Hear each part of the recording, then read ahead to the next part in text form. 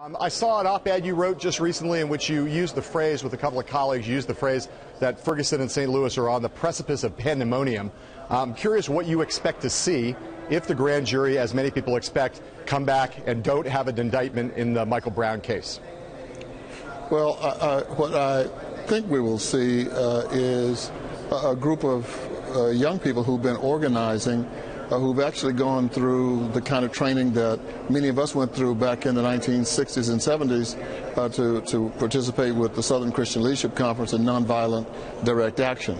Uh, now, having said that, uh, the last, uh, this past summer, when we had all of the tumult, uh, we also had an influx of people coming in uh, from Los Angeles, and we had a, gang members coming in from Chicago.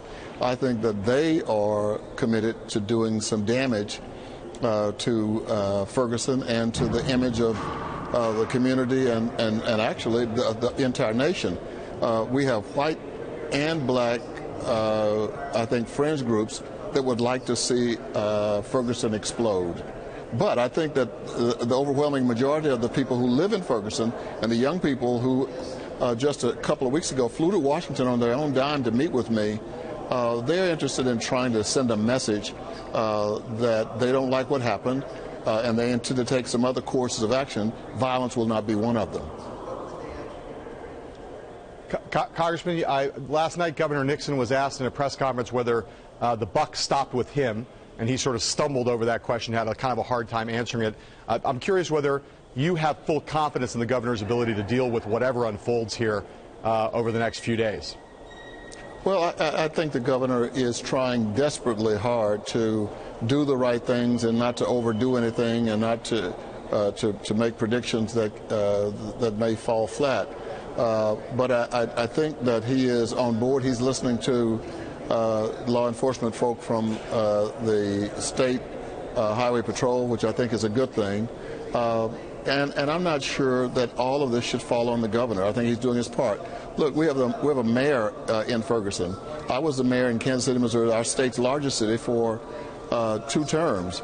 And uh, when we were on the precipice of, of disaster after the Rodney King decision, uh, it was my responsibility to try to, to uh, uh, dissolve all of the friction that was out on the streets. So I don't think people are, are taken into account that Ferguson has an elected mayor, and that mayor should not be standing behind uh, the governor, hoping that the governor will take all of the, the blame uh, if things go awry. The mayor has to have some responsibility. Right. Um, fair enough. Um, I'm curious, though, whether you think that the emergency declaration and uh, the National Guard being called in in this situation. Do you think that is a smart move? Do you think that that brings creates a, an environment of calm and confidence, or do you think it escalates tension here? Well, I'm ambivalent about it. Uh, because, uh, i think the governor did what he thought was the right thing to do.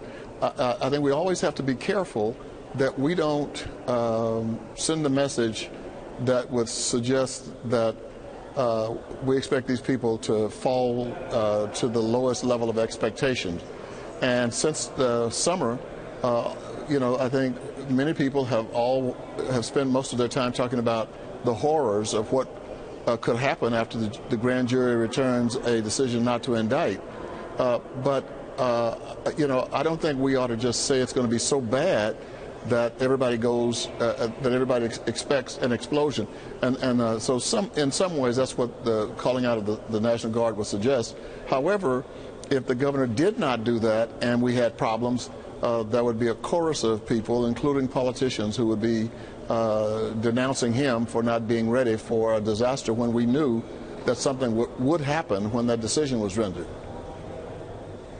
Congressman, we only have about a minute left, and I want to get two more questions in. So, relatively sure. quickly, um, Congressman Lewis, your, your, colleague, Congressman Lewis, uh, in an interview today, talked about how if there was not an indictment in this case, there would be uh, not massive nonviolent protests all over the country. Uh, in something like uh, echoing the Selma marches back in the 1960s. Do you think that's likely to happen? And do you think if it did happen, it would be a good or bad thing? I think in some places it's going to be good. For example, uh, you're going to find that uh, Congressman Lacy Clay and I from Missouri uh, are going to try to bring out uh, maybe as many as 20, 25 members of the Congressional Black Caucus to help do voter registration. The, re- the revenge that I think we ought to exact uh, is to use the 70% African American population there to put people in office, not all of whom will probably be black, uh, but people who would respond to their needs and I think could, could squash uh, a lot of the talk of, of explosion. Uh, Congressman, real, real quick. Um, the White House invest the White House uh, review of the question of militarization in the police. I know this is an issue that you care a lot about. Do you have any sense of where that stands? No, uh, Congressman Clay and I met with the Secretary of Defense uh, over at the Pentagon. Uh, he uh, made some recommendations to the White House. It's now over at the White House. We hope that we can get some response. Uh, we will be meeting Congressman Clay and I with over at the White House tomorrow. I think with Valerie Jarrett, when, and we will raise this issue because we think that it would be a good time to make an announcement before the grand jury uh, filed its report, if in fact that uh, can be done. Congressman Emanuel Cleaver, thank you very much for taking time. I'm going to turn now to Jo Mannies, the political reporter for St. Louis Public Radio. Jo, you've covered this state and this city for a really long time. Yes. What do you expect to see happen here in St. Louis and in Ferguson if, in fact, again, as many people expect, that there uh, is no indictment that comes out in this case? What are we going to see here on the streets in the, in the, in the subsequent 48 or 72 or hours or even longer? Well, I think there's definitely going to be protests. The only issue is how big they are and how boisterous they get. I think there's people on both sides who um, are assuming that there's going to be a, a, sizable number of people who are upset with the decision take to the streets. But as Congressman uh, Cleaver pointed out, there is some pressure to try to keep it nonviolent. There was some nights of uh, violent looting this summer, which some believe actually hurt the cause. Right. So there is an effort to try to tamp down emotions and keep it directed towards the protests. If you think back to what happened in the summer, there were a couple different things that happened, right? One was the actual incident, the facts of which are not broadly known to many people, except for maybe the people inside that grand jury.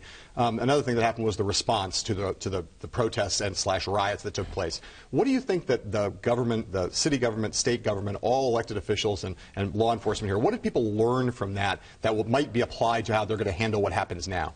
Well, I think in some cases this this is why the governor is acting the way he did. The governor came into a lot of fire this summer because he waited several days before he got involved at all. And uh, once things seemed to get out of hand, then he called in the National Guard, called in the Highway Patrol. Um, some thought he kind of answered the protest with maybe too much power, but the, he, I think now, wants to make sure he doesn't replicate the criticisms he came under this summer for waiting too long. Right. The St. Louis County Police, on the other hand, um, as your viewers may know, Ferguson has its own police department. It does. There's the St. Louis County Police Department, but they have to be asked to come into Ferguson. Right. And but they, under the governor's emergency powers, will be taking the lead role. Now, this summer, the county police came under fire for being a little too militant, uh, you know, with tanks and tear gas and all that. So the county police are trying to tamp down that image. But so you've got a lot of people who are trying to take some of the lessons they learned from the summer to maybe perform differently this fall, but no one's real sure. I mean, the weather is going to impact it. Right. It's colder than usual in right. St. Louis, and that could yes, affect it, it certainly is cold. Yes. Um, let me ask you real quick on two things. One, what, what, what, do you feel like the atmosphere is? Is do you feel like there's an atmosphere in the city right now of kind of expect, expectation? Is, do you feel like it's tense right now? Are people tense. braced for the worst? tense. I think brace for the worst in some areas. We've uh, done stories about uh, big runs into gun stores, a lot of uh, people purchasing firearms because they're nervous. Right.